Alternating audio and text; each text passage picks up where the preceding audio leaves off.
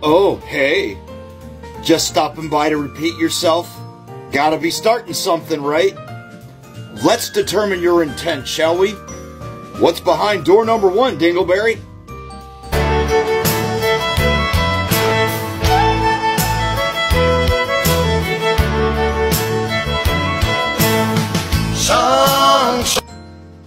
Hmm, what could you be seeing with this piece of dirt? What's the symbology? The symbolism. The war ended April 9th, 1865. But even history books like yourself aren't completely accurate.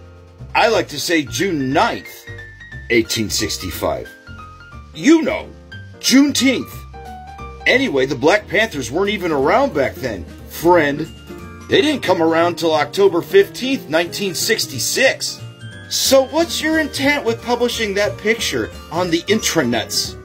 You're just trying to start something, and we all now know who you are and what you're really trying to say.